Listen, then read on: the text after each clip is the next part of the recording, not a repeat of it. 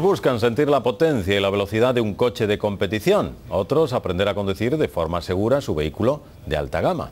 En el circuito del Jarama de Madrid se imparten cursos de conducción para disfrutar durante unas horas de estos coches.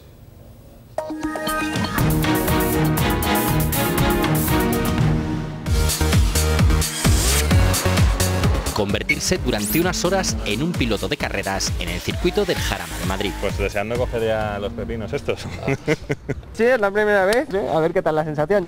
Por unos 200 euros estos conductores reciben un curso acelerado para pilotar coches de hasta 500 caballos de potencia.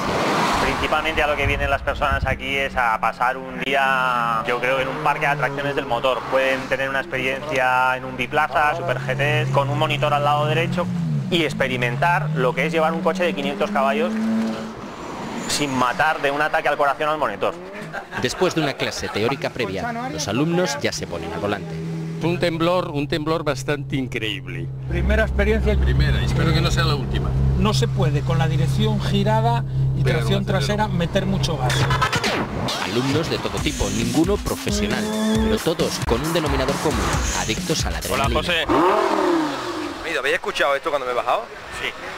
Y se me nota en la cara, ¿no? A ver las pupilas, enfócame las pupilas. dilatadas, dilatadas.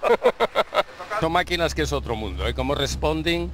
De todos los estratos sociales, te diría, ¿eh? Gente que es capaz de pagar eh, por un coche 200.000 euros a gente que le cuesta mucho el haberse desplazado desde Zaragoza y gastarse 200 euros, ¿no? Tengo un coche potente y entonces me gusta sacarle rendimiento al coche y hacerlo bien y no hacer ninguna bestialidad. Estoy más pendiente del cono, de la curva y tal, que de la posición del volante. El diseño, la velocidad y la potencia que alcanzan estos coches son un sueño para los aficionados, pero cuidado, porque en manos inexpertas pueden convertirse en un arma peligrosa. A saco yo solo sabía, yo entré, que a la primera curva casi me salgo porque no estaba acostumbrado. Tener una experiencia fuera de lo habitual, pero aprovecharla en el día a día para conducir mejor y más seguros.